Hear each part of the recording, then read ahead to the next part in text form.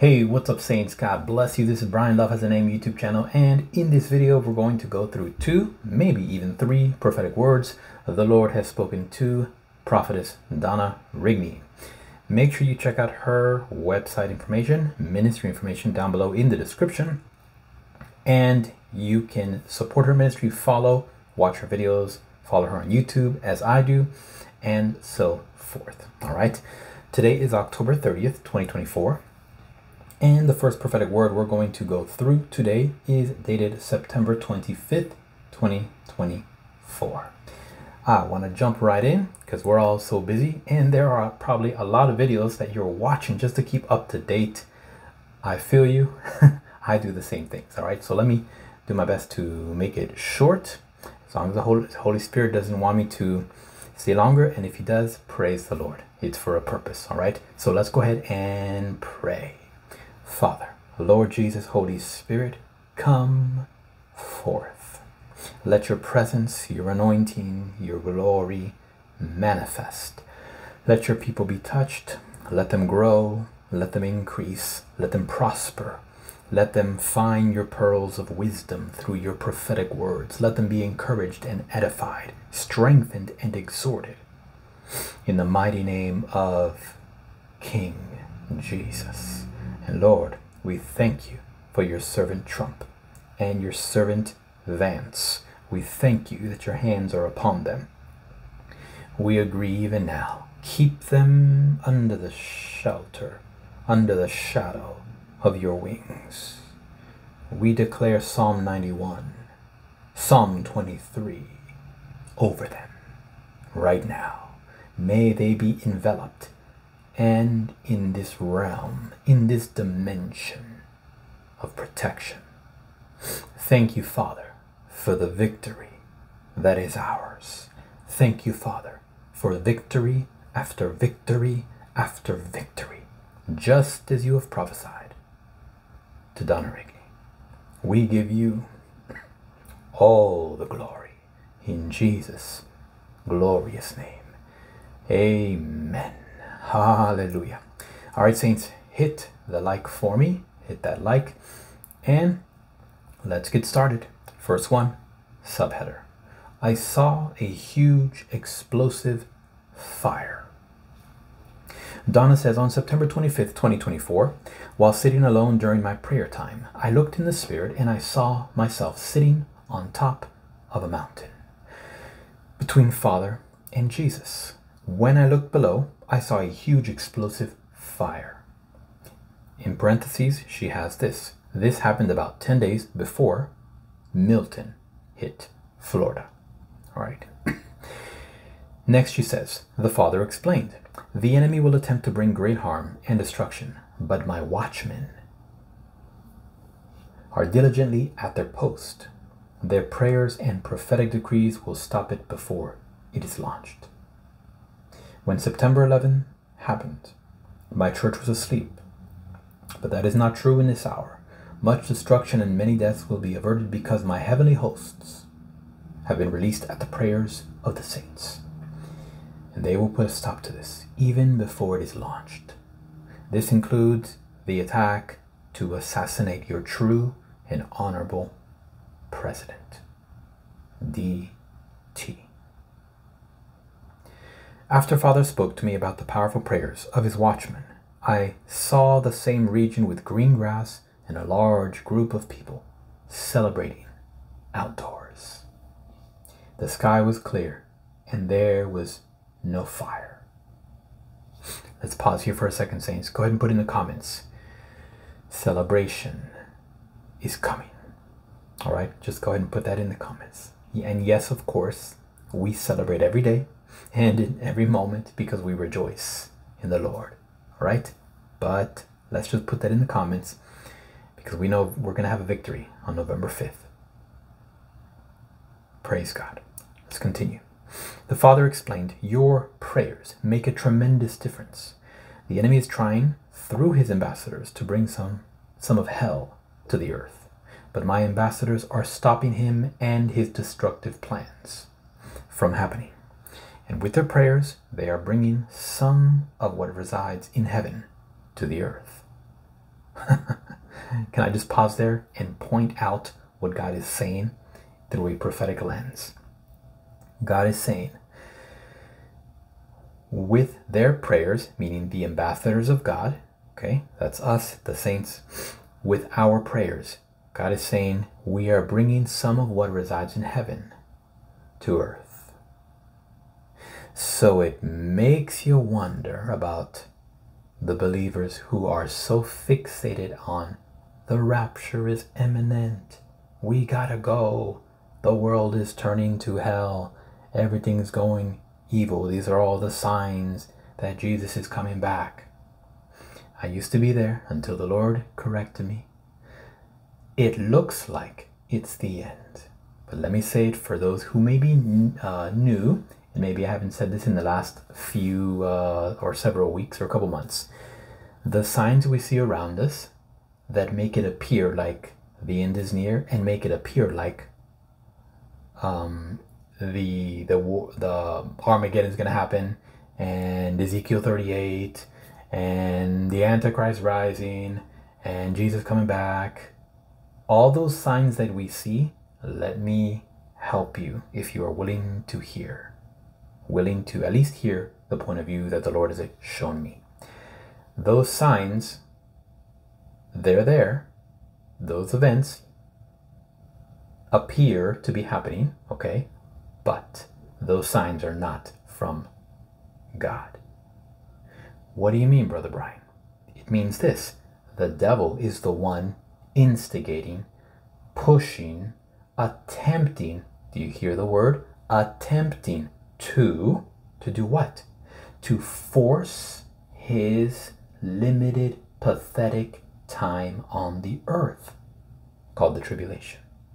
The devil is trying hard to bring about that time and that season. Does it not say in Daniel regarding the Antichrist and the spirit of Antichrist that he seeks to change times and seasons? Now, if this is, I'm going to use the left hand here, if this is the devil attempting to do this, attempting to change times and seasons, you as a believer and as a Christian, will you say that he has the ultimate power or will you acknowledge that God Almighty is the one who is in charge of times and seasons? You have to choose. Because if you still insist on what your eyes are seeing and you're walking by sight instead of by faith, and faith needs to be wrapped up in spiritual understanding, revelation, and revelation doesn't come from you dissecting, trying to understand with your own natural mind. No, revelation only comes spiritual, spiritually, because revelation is spiritual. And revelation can only be given by the Holy Spirit, who is a spirit. And everything he gives and says and does is spiritual. So not everything you see you can you take at face value and say, oh, that means this. In the natural mind.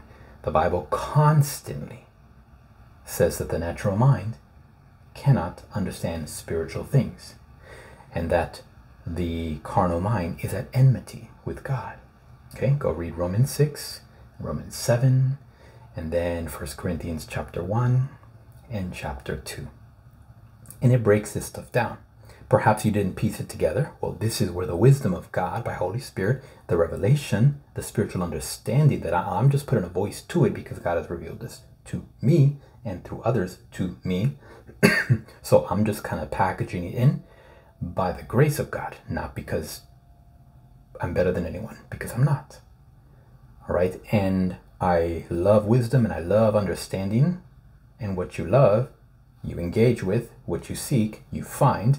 But if all you're thinking is it's the end, it's the end, but you're not actually seeking God yourself, then you are likely to think it's the end because you haven't heard from God yourself.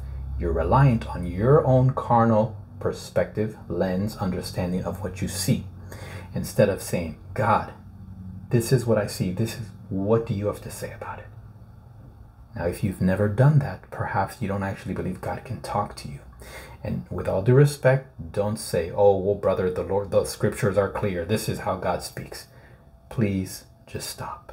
That is the most basic and while fundamental, while foundational, yes, that same scriptures that many religious people will point to, that same scriptures and 66 books of the Bible still talk about Holy Spirit revealing the truth and telling us of things to come and that the Lord uses men and women of God to speak by the Spirit. You see, you cannot deny it, but people will do it because they have no experience with God and they haven't decided that that's a possibility.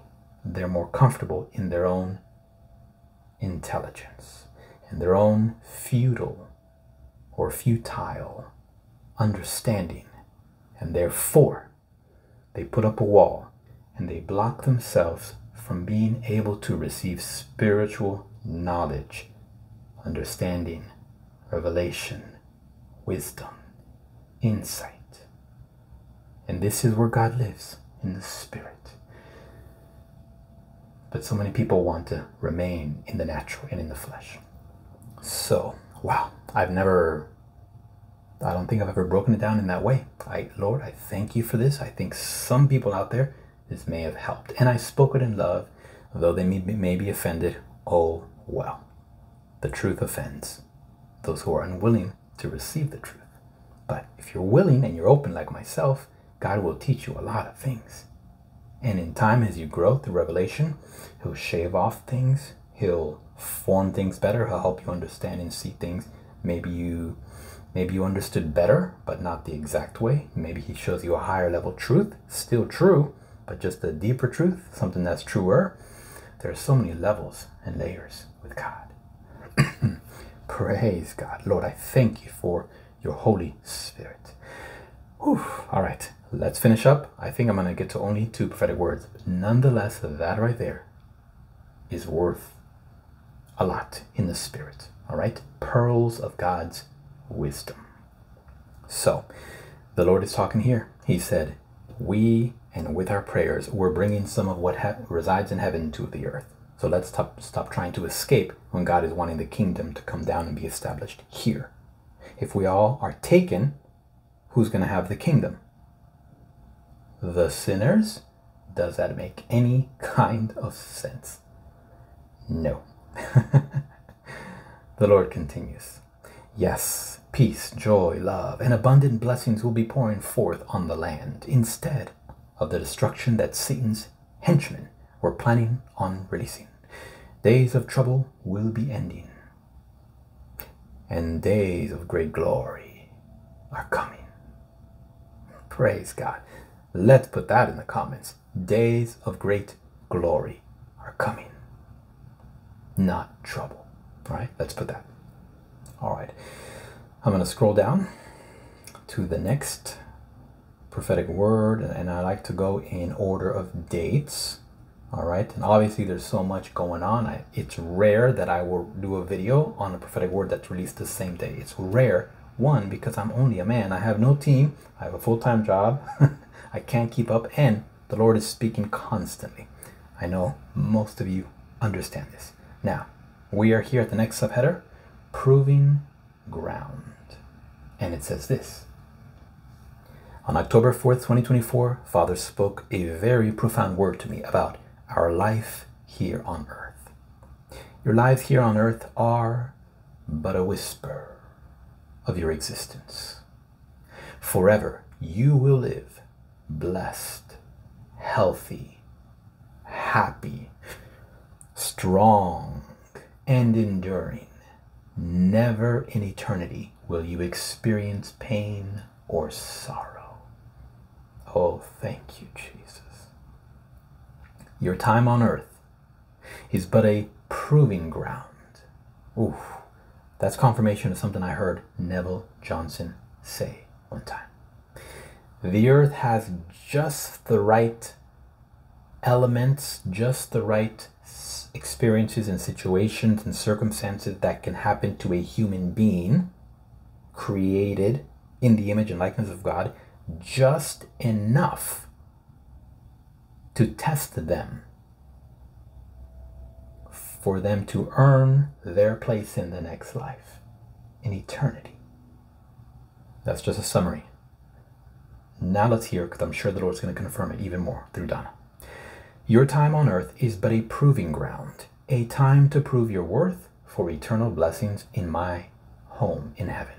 All who are faithful will reap an eternity of never ending rewards for their service. Oof, for their service and faithful endurance on earth. Rejoice when my children leave their time of testing on earth to receive their eternal rewards. Saints, the Lord just said, an eternal an eternity of never ending rewards. Let's put that in the comments. Heaven will be an eternity of never ending rewards. Wow. Teach my children to live their lives fully, to the best of their ability, leaning on my Holy Spirit continually. Ooh, I gotta pause there again just for about two sentences here. The Lord is confirming what Holy Spirit flow was just teaching moments ago. Leaning on Holy Spirit, not on self, not on the mind, not on the carnal understanding, not on the intellect on Holy Spirit. That requires trust. Trust and faith go hand in hand. It almost makes you wonder are people who are too intelligent or are people who are unwilling to receive Christ because they can only they will only believe on what they can see and they have to understand it and hear if that's what a person is adamant about can they even be saved? Now I'm going to answer and say God's grace is sufficient. God can still save them. In fact, you get to a point that someone so intellectual will actually seek for God through science and so forth, and they will find, oh my God, there is Im- it is impossible for such grand design to exist without a grand designer. Hallelujah. And I'm going to give you a hint. It ain't the universe. Okay? The universe has done nothing and will never do anything for anyone, no matter how many New Age people want to give credit to the universe. That is, I'm just going to tell you, it's stupid. Because the one who created the universe is obviously greater. I choose to worship the Creator and I know you do too. The Lord says, Tell them to live lives of love and not allow bitterness or anger to rob them of their rewards. Guide them to focus on love and on those things that are good, pure, and lovely. See Philippians 4 8. Not only will my spirit guide you and help you navigate your life so that your eternity will be greatly blessed, but he will help you enjoy your lives on earth, and He will keep you safe. Oof, saints, the Lord just told us He wants us to enjoy our lives on earth. How can you enjoy your life on earth if you're sick? So obviously, the Lord wants you healthy. How can you enjoy your life if you have an addiction? Obviously, the Lord wants you set free. Okay? How can you enjoy your life to the fullest if you're barely making it financially. There is another point and another reason that the Lord does not want you struggling. He wants you excelling. He wants you prospering, even as your soul prospers. First, your soul, all right? The Lord says, When your loved ones pass on from earth to their eternal reward in heaven, He will comfort you. Lean fully on Him. and the scripture reference here is John 14. Oh, thank you, Lord. All right, Saints, that's what I have for you. All right. Now, I've already put in the comments the links to the three apps I've been mentioning for those of you in America, if you want one, two, or three free apps that will help you to either save some money, earn some gift cards, earn some cash back just by doing things you are already doing, meaning you don't have to go out of your way. Uh, I'm happy that many of you are already taking advantage of that. It is a blessing. So the links are down there for you.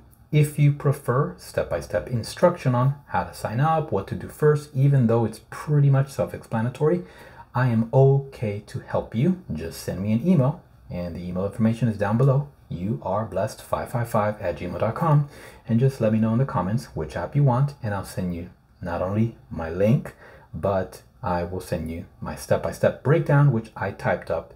And yes, I took the time to do that for you. All right, that's going to be in every video going forward until the Lord tells me different. And in time, I'm letting you know in advance, I will be um, sharing as the Lord brings newer opportunities. I will be um, talking about them little by little and mentioning them as well. So you will find resources to help you because not only does God want you to be close to Him, He wants you to flourish and be healthy in your soul. Okay, your soul yielding to the Spirit, to the Spirit of God. This is how your soul will prosper. And He wants you to prosper in all areas of life in your mental health, in your emotions, in your finances, in your family life, in your relationships, and so forth. And so, if He can use someone to teach you about getting closer to Him and even give you opportunities and ways to excel and become healthier and more whole in other ways, well, I am honored to be able to share little things as I can. All right, I'm just a servant, just like you. In fact, I'm gonna replace that and say, I am a son of God, just like you are a son and daughter of God. So that's what I have for you, Saints. Look down below for Donna Rigney's information. Like and subscribe to this video and this channel. Leave a comment, and I'll see you soon in the next video. Bye-bye.